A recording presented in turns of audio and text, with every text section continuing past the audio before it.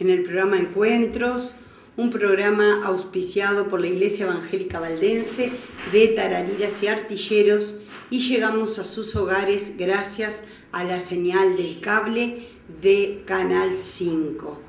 Es un privilegio poder estar compartiendo este tiempo con cada uno de ustedes y estar reflexionando en las enseñanzas de el maestro por excelencia Jesús que aparecen en la palabra de Dios. En esta oportunidad quiero compartir primero una frase que anda circulando en las redes sociales y que la saqué de ahí. Parece que fue dicha por Augustus Nicodemus y dice, yo no encontré a Jesús, Él me encontró a mí. Yo era el, el perdido, no Él. Y realmente esta frase tiene un fundamento bíblico que quiero compartir hoy con ustedes. En realidad, Jesús dijo, y lo encontramos en el Evangelio eh, de Lucas, según San Lucas, hace muchos, muchos años, él dijo en Lucas 19, yo, dijo Jesús, he venido a buscar y a salvar lo que se había perdido. O sea que hace dos mil años el Hijo de Dios, Dios mismo por esencia, se hizo hombre y vino a esta tierra, nació, como todos sabemos, en un humilde pesebre y tenía una misión. Y la misión Él la expresa en ese versículo cuando dice que Él vino a buscar y a salvar lo que se había perdido. Entonces, como decía la otra frase, Él me encontró a mí porque el perdido era yo, la perdida era yo, no Él. Muchas veces dice, no, porque cuando yo encontré a Jesús, sí, fue un encuentro mutuo, ni que hablar, pero el que estaba perdido, la que estaba perdida, era yo. Entonces Él me encontró a mí. ¿Y qué? ¿Por qué dice que estaba perdido? Que él vino a buscar y a salvar lo que estaba, lo que se había perdido. En realidad, cuando Dios creó el mundo y lo pueden leer en la palabra de Dios, en el primer libro que aparece en la Biblia, que es el Génesis, en el principio, Dios había creado todo de una manera espectacular para que existiera una relación íntima entre el ser humano y él, o sea, entre el hombre y su creador, para que pudieran eh, tener una confianza absoluta, una dependencia de su Dios absoluta, pero todos conocemos la historia cuando la mujer le comió del fruto que no podía comer y lo convidó a Adán y también comió ahí se perdió algo fundamental. Y lo que se perdió fue la relación íntima de Dios con la humanidad o con el hombre.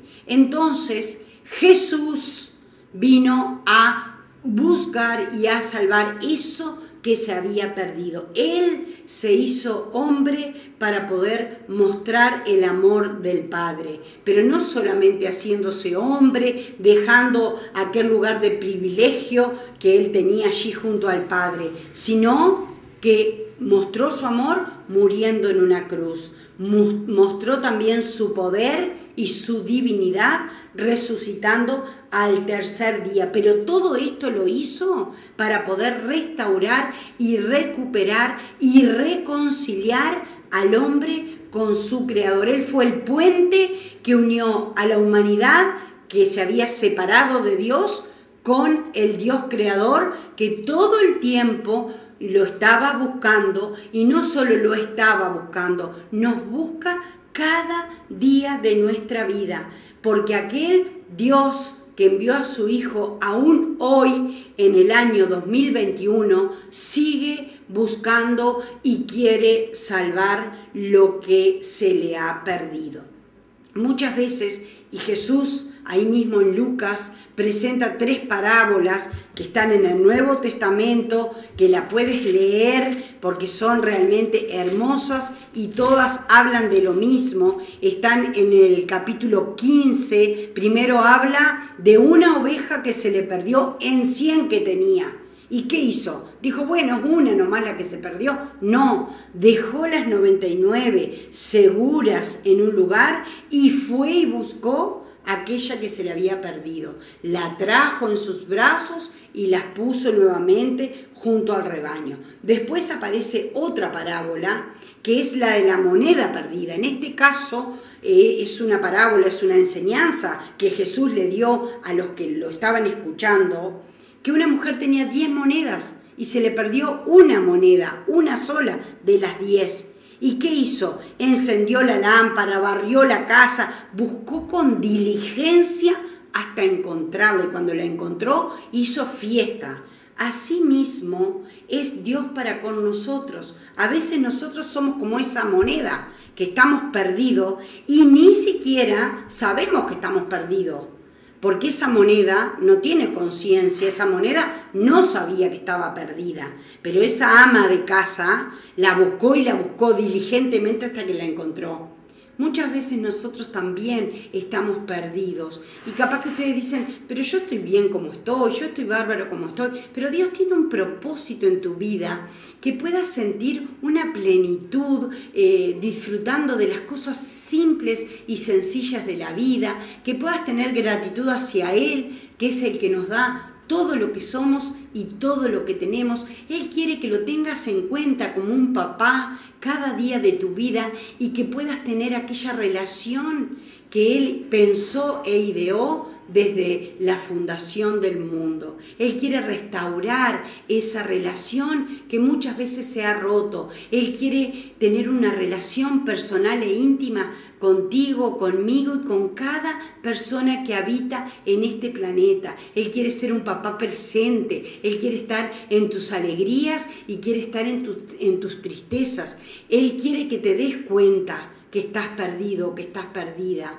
Y Él te está buscando. Él no va a dejar nunca de buscarte, porque Él vino a buscar y a salvar lo que se había perdido. Y dice la Biblia que muchas veces nosotros estamos perdidos en nuestros pecados y en nuestros delitos. ¿Qué significa esto? Significa que muchas veces estamos tan alejados de Dios que ya vivimos sin tenerlo en cuenta para nada. Vivimos eh, de nuestra, a nuestra manera, con nuestros pensamientos, según nuestros propios valores, según nuestros propios intereses y no lo tenemos en cuenta para nada. Y a eso la Biblia le llama estar perdido en nuestros pecados. Es en esa vida que vivimos separados de Dios. Y esa vida separada de Dios, sin duda, que a la larga nos produce insatisfacción, nos, nos, produce desconformidad, nos produce tristeza, nos produce angustia, nos produce que hay momentos que no sabemos ni lo que queremos, porque en realidad cada ser humano fue creado por Dios y tenemos como un huequito en algún lugar que el único que calza de manera perfecta es Dios. Y muchas veces ese huequito se llena con otras cosas que no nos satisfacen siempre, sino que nos satisfacen tal vez en un momento eh, provisoriamente o momentáneamente, pero no nos dan esa satisfacción que nos puede dar solamente nuestro Creador. Entonces yo te invito a que realmente puedas acercarte a alguien que pueda llevarte o conducirte hacia ese Dios que todavía te está buscando. Y dice que Él nos busca no solamente por buscarnos, porque nos ama, porque quiere protegernos, porque quiere guiarnos, porque quiere eh, darnos todo como un papá le quiere dar a su hijo, sino que quiere salvarnos. Y esto significa que Él quiere perdonar nuestros pecados, quiere perdonar las cosas que hemos hecho en el transcurso de esta vida y que realmente Él las pudo ver y que capaz que no fueron las más acertadas. Y Él quiere darte la salvación. Eso significa paz, gozo y una eternidad junto a Él. Eso es lo que Él promete. No promete grandes fortunas, no promete eh, cero problema, pero Él promete estar ahí todos los días de nuestra vida. ¿Hasta cuándo? Por una eternidad. Así que yo te invito a que puedas realmente eh, volverte a ese Dios, a que lo invites a que entre en tu corazón, a que le abras la puerta de tu corazón y le digas, quiero conocerte, necesito conocerte, quiero encontrar el propósito para mi vida, quiero realmente saber que me has encontrado, porque realmente lo necesitamos. Así que te animo a que lo busques cada día de tu vida, a que mires el cielo y ahí tal vez lo puedas encontrar. Para finalizar te voy a, dejar un tema musical que se llama El buen pastor y lo canta Doris Machin. Ella es una cantante que también en alguna vez, en algún momento de su vida, anduvo errante y perdida, como a veces pasa con las ovejas, hasta que Jesús la rescató, la encontró y la rescató como ha hecho con tantas personas a lo largo y ancho de este mundo. Te bendigo en el nombre de Jesús, será hasta la próxima y agradezco este tiempo que has dedicado para escuchar este mensaje. Será hasta la próxima. Gracias.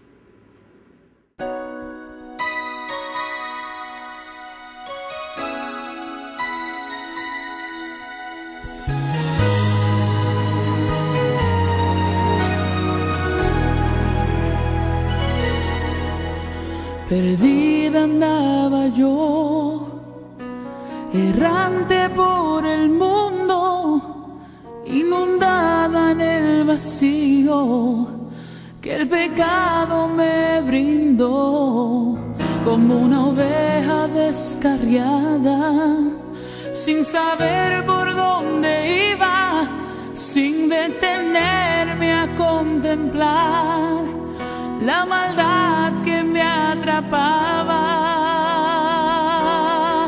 Pastor de mi corazón, con voz fuerte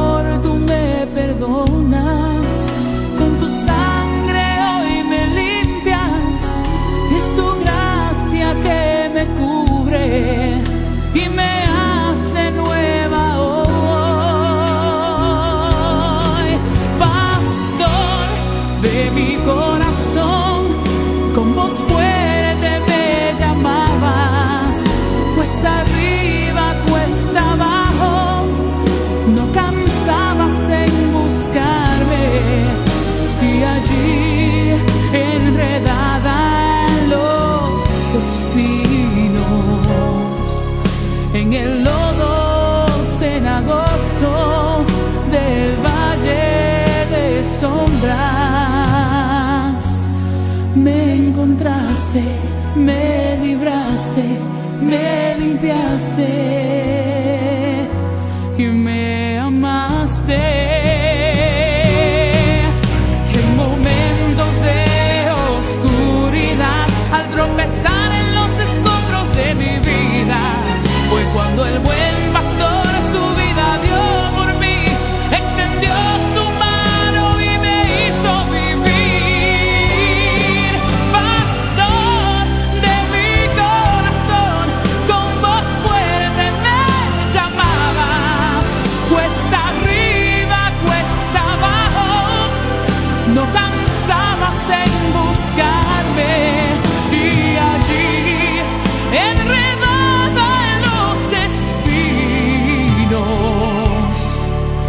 en el lodo cenagoso del valle de sombras.